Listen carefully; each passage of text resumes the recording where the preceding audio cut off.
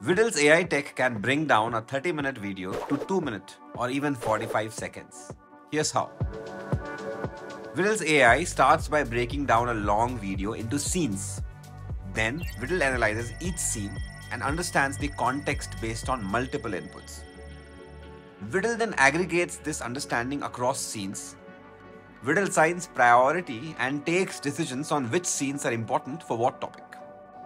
Lastly, relevant scenes are joined together to create a short Viddl. Viddl, short video at work.